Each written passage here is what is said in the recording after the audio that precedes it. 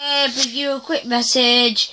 Season 2 came out of Ninjago. Lord Garmadon um, using the Serpentine. Survives the very lost island. The Serpentine betray Lord Garmadon. They push him off a helicopter. He lands on the Dark Island. He finds the Overlord.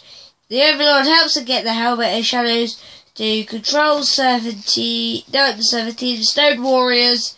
So did you get the elemental words and the elemental blades to confront him with an acid battle?